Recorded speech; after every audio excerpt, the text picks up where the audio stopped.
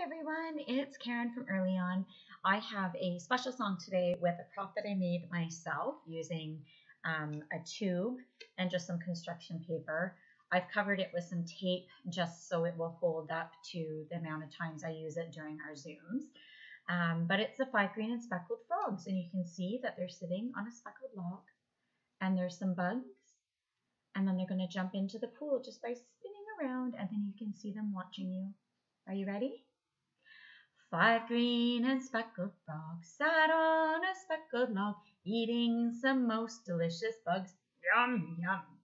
One jumped into the pool where it was nice and cool. Now there are one, two, three, four green and speckled frogs. Glub, glub. Four green and speckled frogs sat on a speckled log, eating some most delicious bugs. Yum, yum. One jumped into the pool where it was nice and cool. Now there are three green speckled frogs. Glub, glub. Three green and speckled frogs sat on a speckled log, eating some most delicious bugs.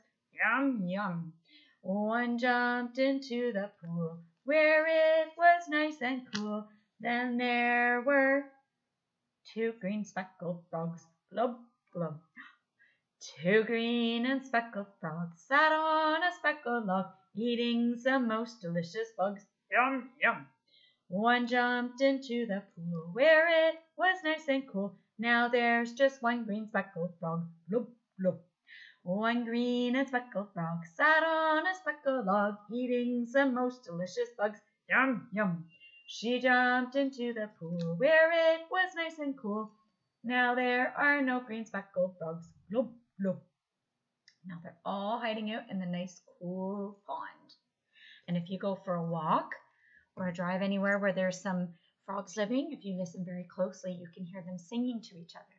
Hope to see everybody soon. Stay safe.